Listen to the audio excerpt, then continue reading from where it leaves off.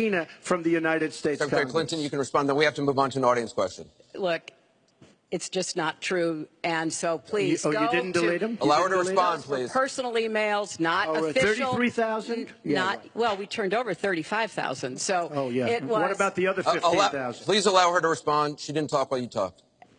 Yes, that's true. I didn't. And you I didn't in the say. first debate, and uh, I'm going to try not to in this debate because uh, I'd like to get to the questions that the people have brought here tonight uh, to talk to us about. And get off this question.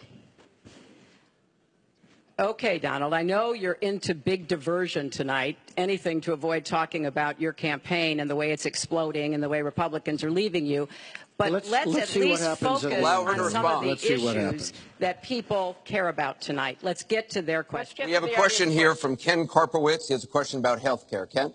I'd like to know, Anderson, why aren't you bringing up the emails? I'd like to know. Why aren't you We getting brought up to the bottom? emails. No, it hasn't. It hasn't. And it hasn't been finished at all.